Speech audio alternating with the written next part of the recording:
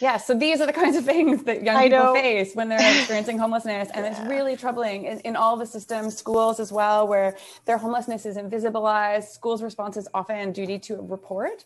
So if a young person is under 16 or even 16, they can bring in child welfare services. They can make a report to child welfare services, but that often isn't what is desired by the young person mm-hmm. and is a really limited response, um, especially around that age where child welfare is less likely to intervene.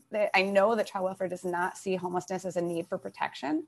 The whole protection system in Ontario pivots around parental um, neglect or abuse.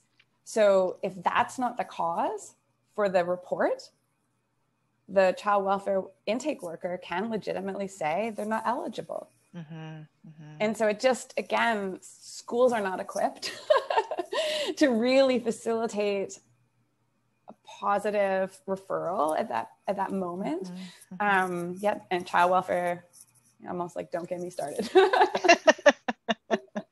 no, I hear you. I hear you for sure.